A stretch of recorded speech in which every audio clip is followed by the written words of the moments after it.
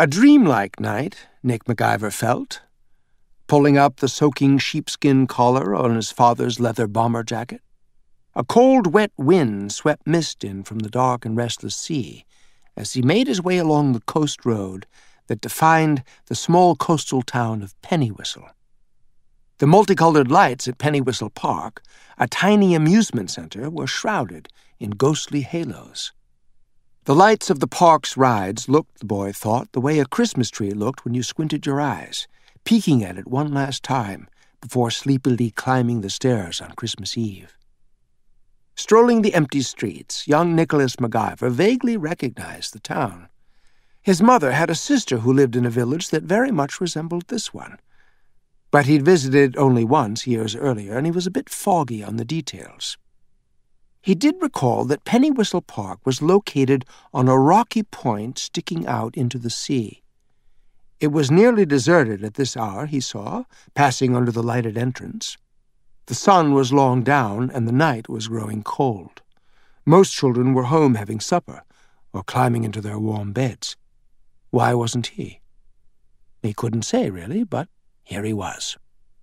The Ferris wheel, his original destination, came to a creaky stop, and a few strangely silent children climbed out of the cars and rushed into their parents' arms, all of them soon disappearing into the mist and now it seemed as if he had the entire park to himself. He stepped up to the ticket window. The ticket taker, with his green eye shade, looked an awful lot like Nick's best friend in the world, a man named Gunner. A dead ringer, as his dad would say, down to his full white beard and gold-rimmed glasses. Ah, sorry, son. Park shutting down for the night, the bearded man said when the lad approached, his money tightly clenched in his fist. Are all the rides closed, sir? Nick asked, marveling at the man's voice. He even sounded like Gunner. Well, there's one ride still open, lad, the Whirlodrome. The spinning airplanes, do you mean? Well, that's the one I've come for, sir. Oh, not just any old airplane, son, but miniature Spitfires. Supermarines, just like the real thing our boys will be flying when the shooting war with Germany begins only without the working engines and machine guns, of course. The man laughed. Which way is the Whirlodrome, sir?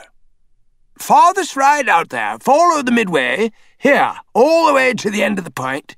You see that big flashing red propeller sign spinning around out there? Bit foggy to make out, but there she is, all right. Still catch a ride, looks like, if you hurry. Thank you very much, sir. If I can't ride the Ferris wheel, that looks like a good one. Oh, you fancy yourself a pilot, do you? Some day I will be one, sir. My father, you see, was a hero in the Great War. Shot down over the Ardennes, but he took more than a few German Fokkers with him. I plan to sign up with the Royal Flying Corps as soon as I'm old enough. You can count on that. Yeah, good lad. England will need thousands of brave boys like you before this coming war is over. I've just heard over the wireless that German armies have marched into Belgium and Holland and that Chamberlain is resigned and Churchill is to be Prime Minister. I've had the pleasure of meeting the great man, sir, and if anyone can bring us safely through this war, it is Winston Churchill. Nick McIver bade the man farewell and followed the darkened midway out to the Whirlodrome. It was very windy and chilly, but he was wearing his father's old leather flying jacket and leather helmet, and both gave him a good deal of warmth. The ride was like a big wheel set on its side, with a slowly revolving beacon light at its hub and eight tiny silver Spitfire airplanes at the end of each spoke. He noticed that all the little planes were empty. As the great wheel turned, the propellers at the nose of each plane spun rapidly in the stiff breeze off the sea. There was a kindly old man in the ticket booth, snow white hair and big blue eyes like a baby, and he too reminded the boy of someone, his grandfather. Yes, he looked exactly like Nick's grandfather. He smiled at Nick. This was indeed the strangest place. Everyone here reminded him of someone else. Sir, may I just have one ride? I- am sure you're closing down for the night, and I, and I don't want to be a bother. Uh, this ride never closes, Nick. I keep it open all the time, just for young boys like you. But, but, sir, you, you called me Nick. How on earth do you know my name? Oh, I've seen you about here and there. My name's Captain Orion, but you can call me Captain. You want to be a pilot someday, don't you, Nick? I've seen that look in a boy's eyes before, you know. I'd do anything to become one, sir. My father, whose name is Angus, flew a Sopwith Camel with C Flight, number 40 Squadron, the very same squadron as Mick Mannock, the famous ace who shot down 61 German planes. Uh, your dad was an ace, too, before he got shot down by Baron Manfred von Richthofen over the Ardennes forest. Uh, the use of one of his legs, I believe, walks with a cane. That's correct, sir. The Red Baron ended my father's service to his country, but how on earth did you know all about this? Well, Angus McIver is famous too, Nick. a real hero. Thank you, sir. He'd be pleased. Here's my money. I'll take five rides, please. Your money is no good on this ride. Future knights of the air like yourself ride the Whirlodrome for free. Our patriotic duty, you see. Step inside the gate here, and I'll have you airborne before you know it. Captain Orion brought the spinning ride gradually to a stop, let Nick pick the Spitfire he wanted to fly. They were all identical, save the big red numbers painted on the stubby wings, and then helped him climb up inside the bare metal cockpit He'd chosen number seven, his lucky number. The seat was like a small bucket with leather padding. It had a realistic looking instrument panel, but when he reached out to touch it, he saw that the dials were all peeling and painted on wood. Does the joystick really work? Nick asked, pulling back on it. sure does. Pull back to bring her nose up.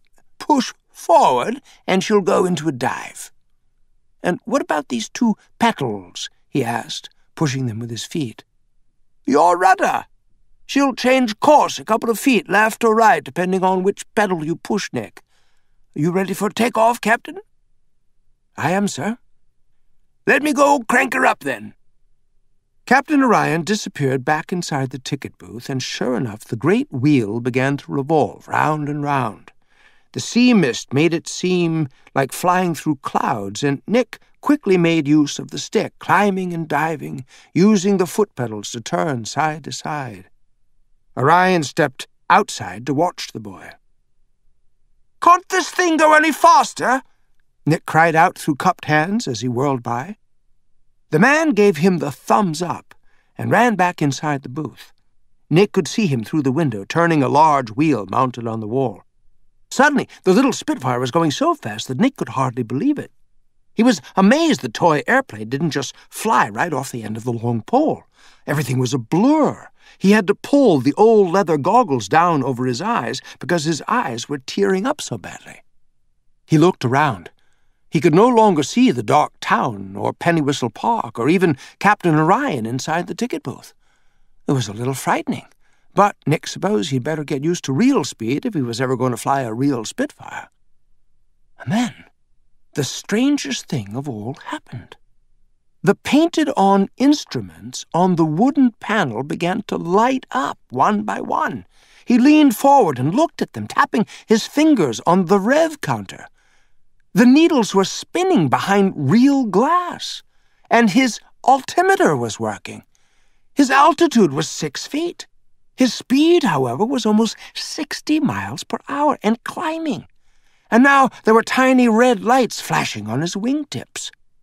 He heard a strange squawking noise behind the instrument panel and reached up under to see what it was, and there was a hook under there, and on it hung an old pair of headphones, just like the real ones his dad had brought home from the war. There were small ear holes in his leather flying helmet, and he put the headphones on over it. Captain McIver! Captain McIver, this is Pennywhistle Control. Do you read me? Over. It sounded like Captain Orion, who sounded a lot like his grandfather. What's going on? Nick cried. Is everything all right? Is the ride broken? I, I think it's going too fast. Roger, Captain. I read you loud and clear. Everything under control. You are cleared for takeoff, Skipper. Takeoff? You see that flashing red button on the top of the joystick? Yes, sir, I do, he said, and suddenly there really was a flashing red button. Just push that button, Skipper, and you'll be on your merry way. Happy flying, sir. Push the button? On your way, happy flying? Being a naturally curious boy, Nick McIver had no choice but to push the red button. What happened next took his breath away.